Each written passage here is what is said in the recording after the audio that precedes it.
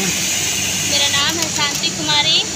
मेरा I D number double one six nine eight मैं इसलिए अटैच करती हूँ।